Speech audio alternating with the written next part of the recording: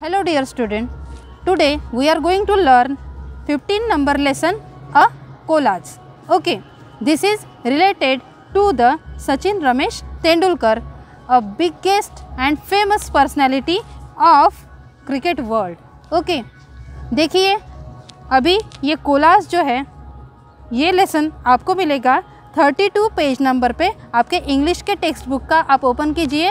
32 page number इस पे आपको ये लेसन मिलेगा। और अब हम देखेंगे a, collage means word. Collage ये वर्ड शायद आपके लिए नया होगा या इससे पहले आप जानते भी होंगे। तो collage means word. A, collage is an artistic arrangement of paper cut paper cut out picture and text और फोटोग्राफ। इससे बने हुए इसकी आर्टिस्टिक जो अरेंजमेंट होती है, उसको अच्छे तरीके से, अट्रैक्टिव तरीके से आप अरेंज करके कोलाज जो है वो बना सकते हो। वो कुछ इस तरह से दिखेगा। सचिन तेंदुलकर के एक फ़ैन ने ऐसा उसका कोलाज जो है वो बनाया है और और वो एज़ पर लेसन आपको यहाँ पे दिया गया है। ठीक है? तो सचिन तेंदुलकर, ये ये एक फ़ेमस क्रिकेटर है और वो महाराष्ट्र से बिलोंग करते हैं। और we are also Indian and Maharashtrian also so we are all proud of on Sachin Tendulkar ठीक है? तो उनके बारे में पूरी इन्फॉर्मेशन यहाँ पे दी गई है और वो बहुत ही आर्टिस्टिक तरीके से उनके आर्टिकल्स उस, उनके ऑनर्स और उनके सेंचुरीज़ के बारे में यहाँ पे इंफॉर्मेशन दी गई है और वो आर्टिस्टिक तरीके से अरेंज की गई है। तो आइए देखते हैं अकोलाज सचिन, रमेश तेंदुलकर और यहाँ पे उनका पिक्चर भी दिया गया है। ठीक है? उनकी डेट ऑफ़ बर्थ है 24 अप्रैल 1973 उनकी डेट ऑफ़ बर्थ क्या है? 24 अप्रैल 1973 फ़र्स्ट टेस्ट मैच उन्होंने अपना लाइफ का फ़र्स्ट मैच जो है वो कब खेला? 15 नवंबर 1989 को। उन्होंने अपने लाइफ का पहला मैच जो है वो खेला और वो था पाकिस्तान के against then first one day international ODI means what one day international match उन्होंने 18 दिसंबर 1989 में पाकिस्तान के अगेंस्ट ही खेला। ये तो इन्फॉर्मेशन हुई उनकी फ़र्स्ट मैचेस के बारे में। बाद में उनकी टेस्ट सेंचुरीज जो वाइट पैच में दी गई है वो हम देखेंगे। देखिए टेस्ट सेंचुरी है उनकी 51 देन टेस्ट रन्स हैं उनके 15,1921 देन वनडे इंटरनेशनल सेंचुरी है उनकी 49 then one day international half centuries हैं उनकी 96 एंड वनडे इंटरनेशनल रन्स हैं उनके 18,426 ये सारी जो इन्फॉर्मेशन है वो छोटे छोटे स्टार्स में पैच में वाइट कलर्स में दिए गए हैं. देन उन्होंने अपने लाइफ का लास्ट मैच जो है वो कब खेला? वो येलो पैच में वहाँ पे दिया गया है. देखिए आपके टेक्स्ट बुक में आप देख सकते हो.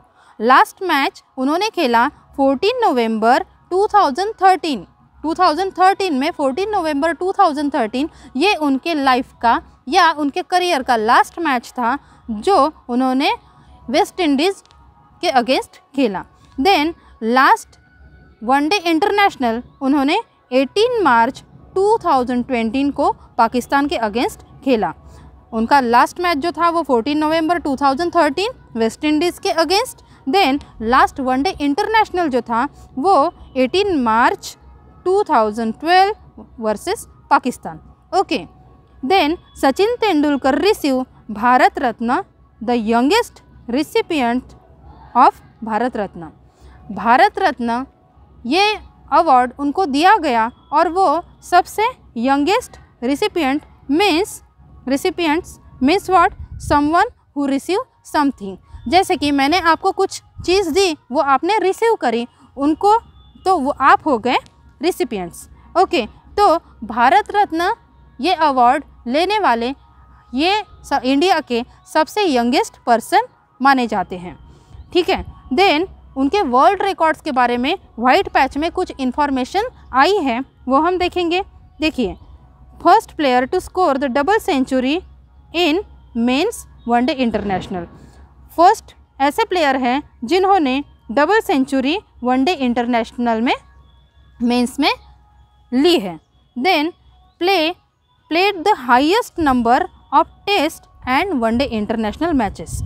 उनके जो वनडे इंटरनेशनल मैचेस हैं, वो highest number of test and one day international matches हैं।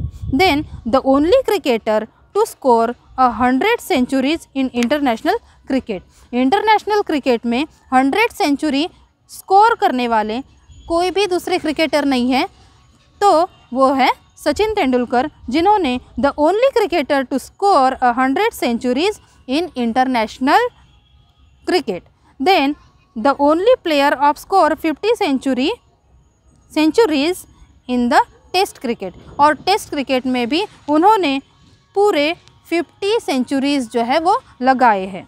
Then first batsman to score fifty thousand runs in the test cricket और टेस्ट मैचेस में टेस्ट क्रिकेट में उन्होंने ये आ, ऐसा फ़र्स्ट बैट्समैन है जिन्होंने स्कोर किए हैं पूरे fifty thousand runs then world record for having the highest number of world record और उन्होंने वर्ल्ड रिकॉर्ड जागतिक विक्रम जो है वो बनाया है having the highest number of world record okay then उनको जो ऑनर दिए गए हैं, उनको जो सम्मान चिन्ह दिए गए हैं, वो येलो पैच में यहाँ पे आपको दिखेगा। उनको जो पुरस्कार मिले हैं, वो है Arjun award then Rajiv Gandhi Khel Ratna award then Padmashri then Maharashtra Bhushan award क्योंकि वो महाराष्ट्र राज्य से बिलोंग करते हैं। देन पद्म विभूषण भी मिला है उन्हें और भारत रत्न अवार्ड भी मिला है। मीन्स, अपने, हमारे भारत देश में जो जो अवार्ड जो है, वो हाईएस्ट रैंक के माने जाते हैं। लगभग सचिन तेंदुलकर सचिन तेंदुलकर को वो पूरे ही अवार्ड्स मिले हैं, जैसे कि खेल रत्न है, भारत रत्न है, देन पद्मश्री है, देन पद्म विभूषण अवार्ड है। ये सारे अवार्ड्स सचिन तेंदुलकर को दिए गए हैं। देन यहाँ पे ब्लू कलर के लाइंस में कोलाज के बारे में थोड़ी सी इन्फॉर्मेशन आई है, वो भी हम पढ़ लेंगे। See a collage is an artistic arrangement of paper cutouts pictures photographs texts etcetera you can make a collage one on a single topic और you may bring together various topics and ideas in collage. Collage जो है वो आप एक किसी single topic पे भी बना सकते हो। कोलाज जो है वो किससे बना हुआ होता है? एक आर्टिस्टिक अरेंजमेंट होती है। किसकी? पेपर कटिंग्स की, देन पिक्चर्स की, फ़ोटोग्राफ्स की और टेक्स्ट टेक्स्ट भी उसमें आप ले सकते हो। ऐसे आप अलग अलग टॉपिक को एक कोलाज में भी दिखा सकते हो या एक सिंगल टॉपिक को लेके भी आप कोलाज बना सकते हो। इस तरह से होता है collage. Then thirty three page number पे माय फेवरेट क्रिकेटर टाइटल के अंतर्गत कुछ अदर इन्फॉर्मेशन जो है वो दी गई है, जिसमें कुछ ऐसे फोटोग्राफ्स हैं, जिसमें मैच खेलते हुए सेंचुरी लगाने के बाद बैट्स बैट वर्क ऊपर करते हुए एंड देन सम्मान जो है, वो लेते हुए ये सब कुछ पिक्चर्स जो है वो यहाँ पे दिए गए हैं और एक ब्यूटीफुल कोलाज यहाँ पे बनाया गया है। ठीक है? देन टचिंग फेयरवेल स्पीच उनका जो, उनको जो लास्ट में फेयरवेल दिया गया तो उन्होंने उन, उस फेयरवेल स्पीच में क्या कहा? इसके बारे में कुछ इन्फॉर्मेशन यहाँ पे दी गई है और वो है ब्लू पैच में। See touching means what making you feel deeply about something. Means heart touching, कुछ चीज़ें ऐसे दिल को छू जाती है, ऐसा ही फेयरवेल का जो स्पीच है सचिन तेंदुलकर का तेंदुलकर का जो यहाँ पे हार्ट टचिंग है, और उसमें से कुछ फ्यू ऑफ़ इंफॉर्मेशन यहाँ पे दी गई है। वो हम पढ़ेंगे, देखिए, Sachin thank all the people who had help him in his life. His parents family members relatives, friends, his coach, doctor, trainers, managers, media and all the peoples who supported him.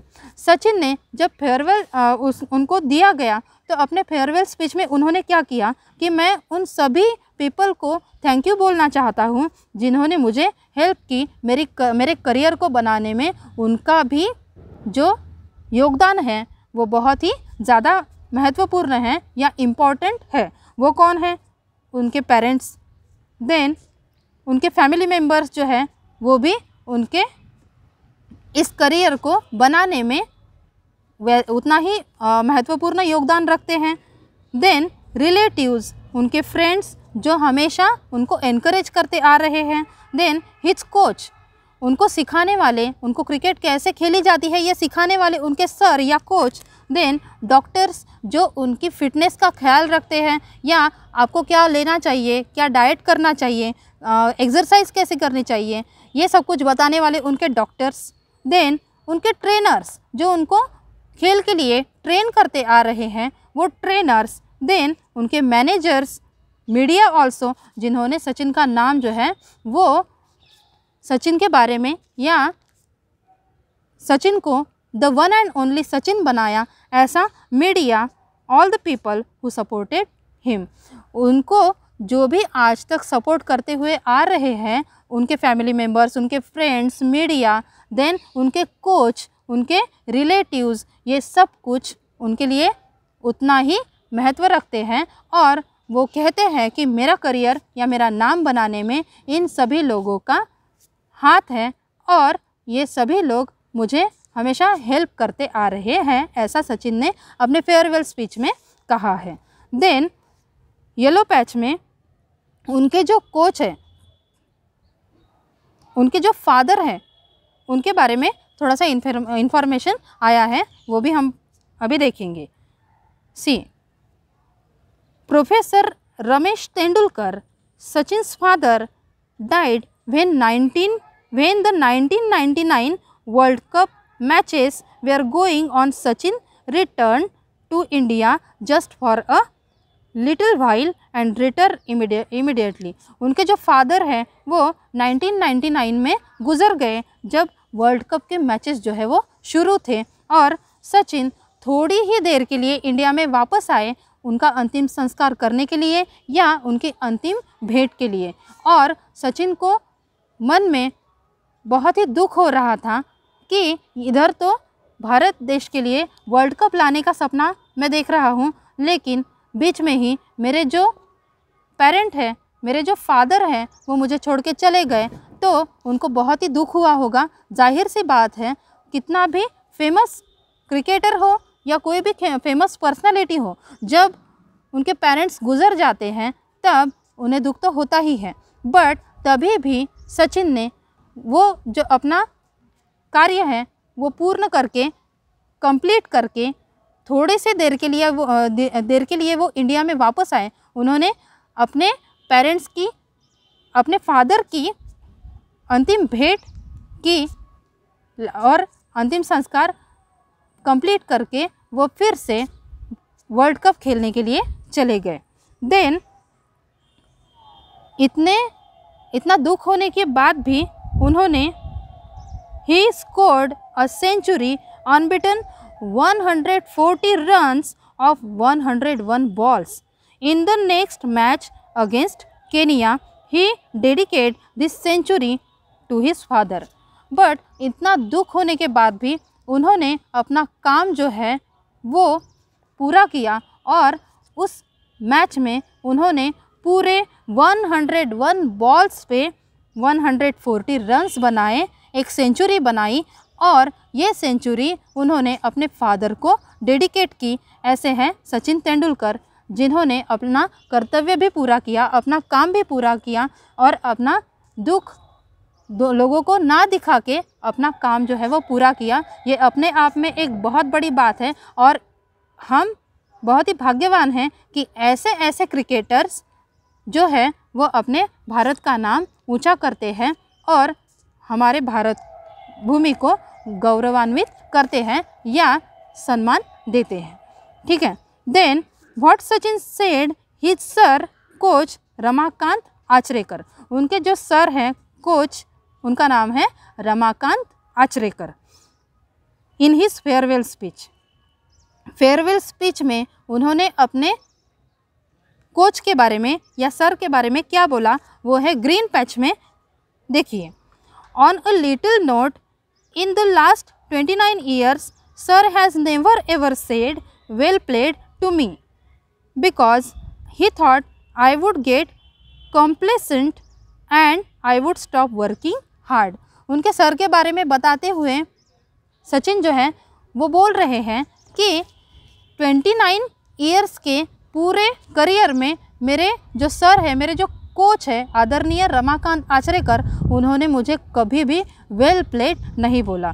शायद उनको लगता होगा कि मैं, अगर मैंने well done या well played इसको बोला तो ये हार्डवर्क करना जो है वो बंद कर देगा, ऐसा उन्होंने यहाँ पे कहा है। Complacent means what see please with one self and making no efforts means खुद से ये खुश हो जाएँगे।